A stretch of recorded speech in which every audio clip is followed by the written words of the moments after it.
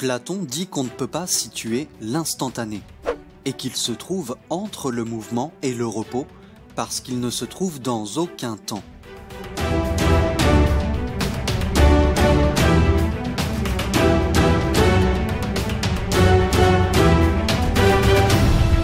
Avant la naissance du ciel, il y aurait eu le feu, l'air, l'eau et la terre, et aussi leurs propriétés. Parallèlement, il y avait l'être, le devenir, et quelque chose qui donne aux quatre éléments une configuration provenant d'une figure ou d'un schème. Les quatre éléments possèdent les schèmes des formes et des nombres.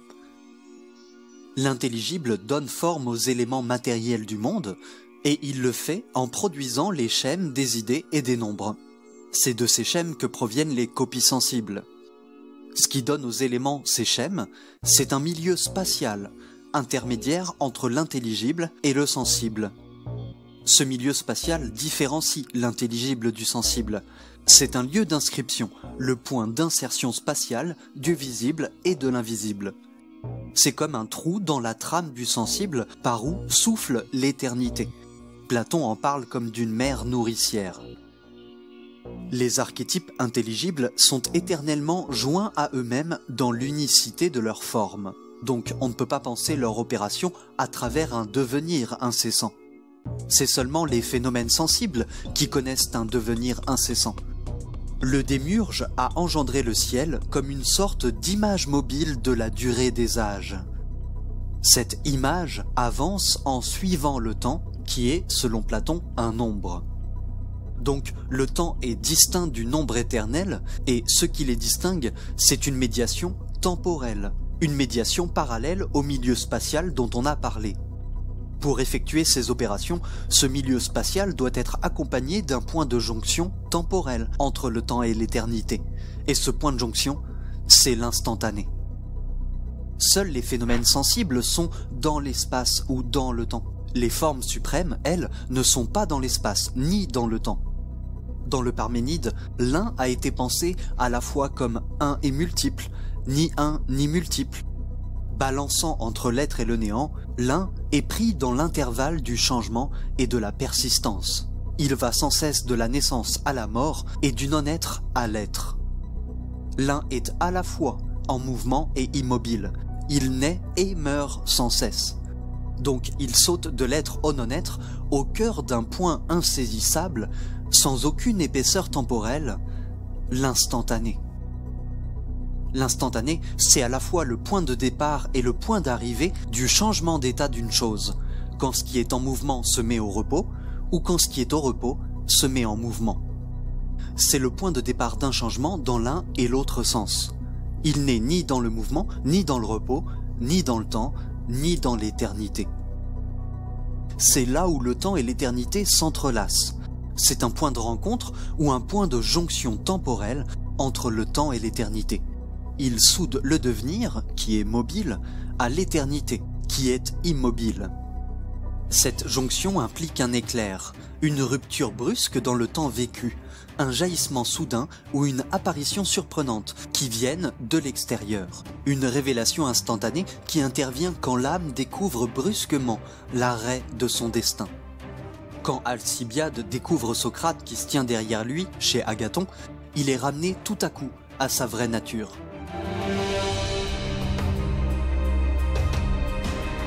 Le regard de Minos, le juge immortel, perce tout à coup l'âme des défunts, au croisement du ciel et de la terre. Er, l'Arménien, se réveille tout à coup sur le bûcher au retour de son voyage dans la prairie.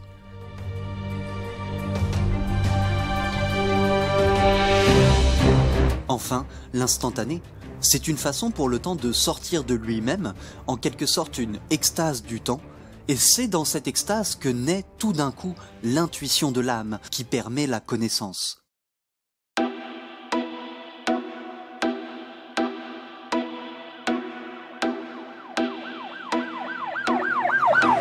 L'instantané est une médiation du temps et de l'éternité au cœur de l'âme, qui intervient brusquement.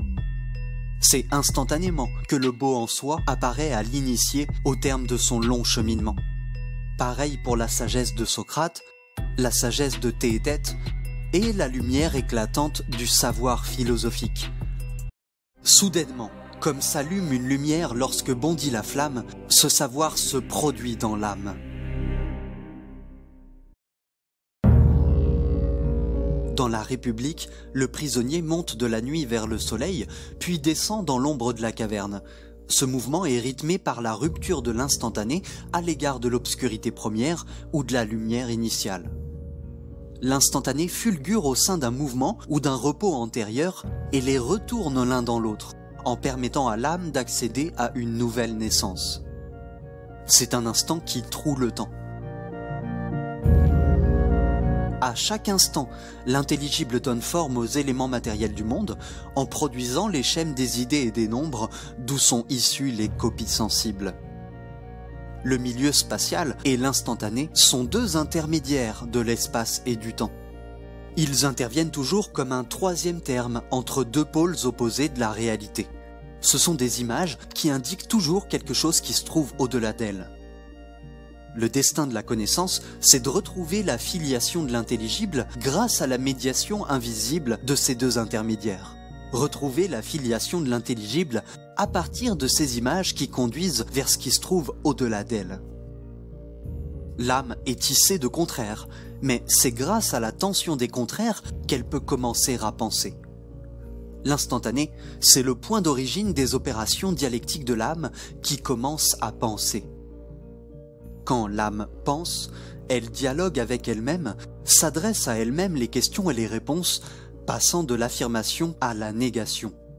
Elle a une opinion quand elle s'est arrêtée, soit dans un mouvement plus ou moins long, soit même dans un élan plus rapide, et que dès lors, elle demeure constante en son affirmation et ne doute plus.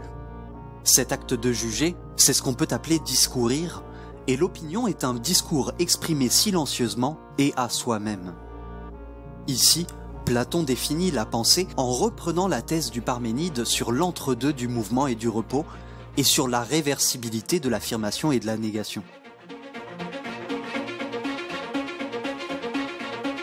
La joute dialectique produit de façon subite la compréhension. L'instantané se produit à la fin d'un dialogue entre un progressant et son guide c'est l'aboutissement rationnel d'une procédure rationnelle. L'instantané est une vision intuitive rationnelle, une intuition de l'unité de l'intelligible dont la manière d'apparaître est le beau en lui-même.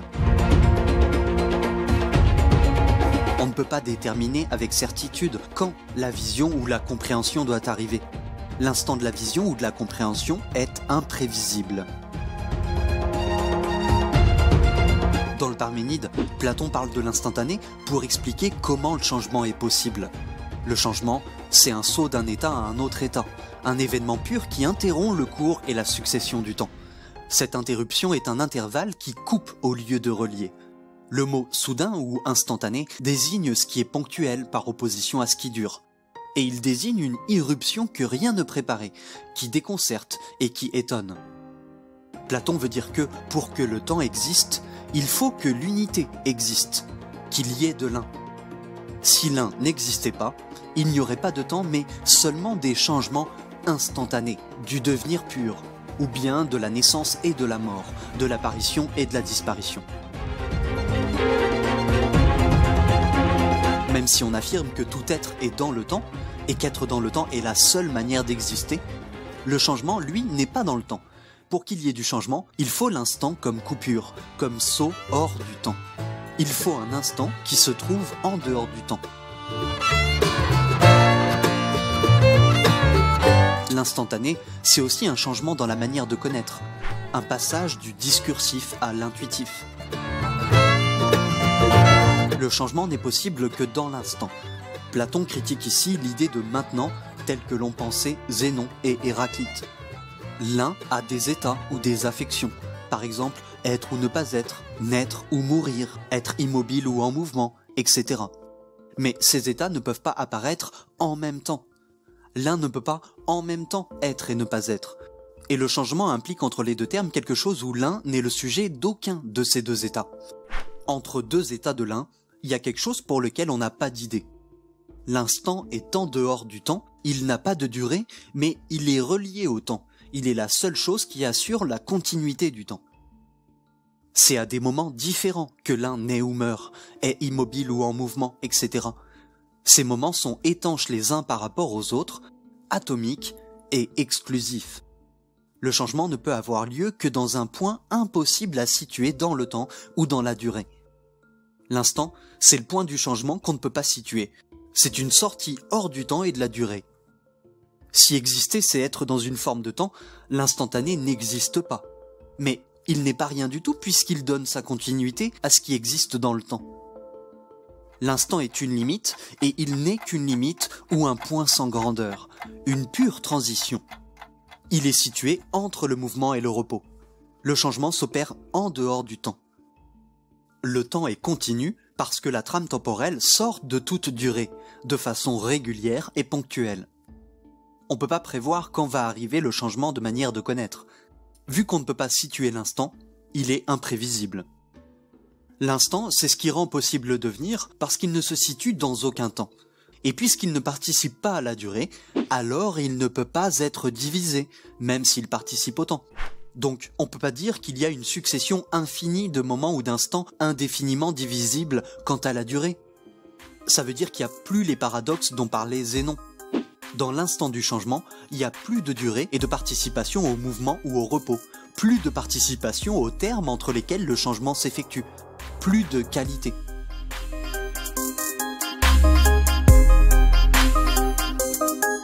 C'est ça qui permet de passer d'un état à l'autre. Au contraire, si l'instant durait, l'un serait toujours en train de participer à l'un des deux termes, donc on ne pourrait pas comprendre le passage. Ce qui change ne participe d'aucun des attributs entre lesquels il est en mouvement. Il est suspendu hors de la durée, dans l'instantané. Si l'un change, il passe régulièrement dans le non-être.